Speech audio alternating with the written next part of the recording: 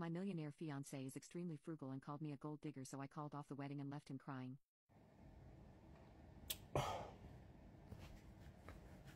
So I'm gonna go ahead and say that was 100% your fault from top to bottom. The whole thing is your fault.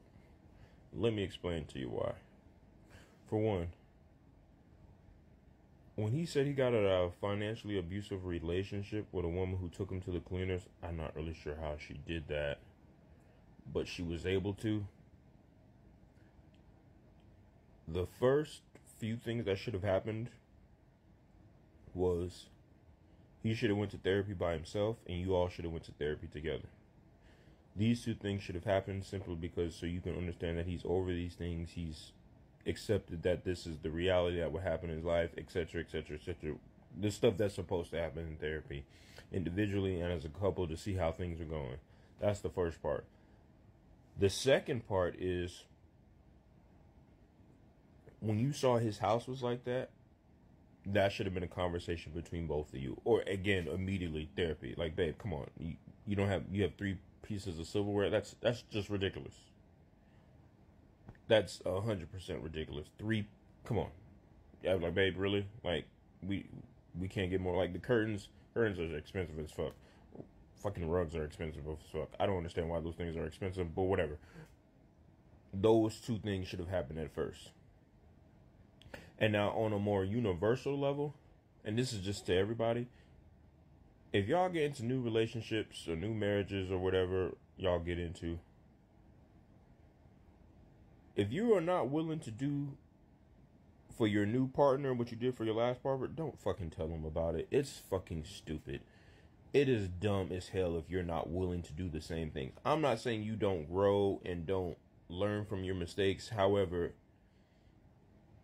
if you're not willing to buy her a 10 carat ring, you, there's no reason why that woman should have known you bought your wife a 10 carat ring.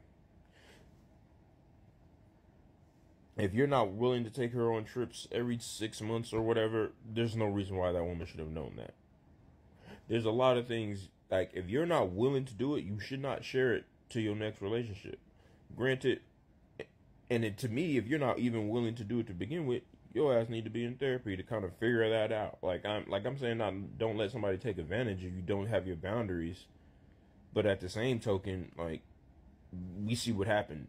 Like she's jealous as fuck and I'm not gonna say she has a right to be jealous, but you she shouldn't have learned about what had happened in that past relationship as far as was what was bought and all the other stuff. Maybe general spectrums of things like you know I paid all the bills, which is typical for you know in a scenario like that. I bought her a lot of nice things and she broke it or tore it up or threw temper tantrums, but it should never go into details and specifics.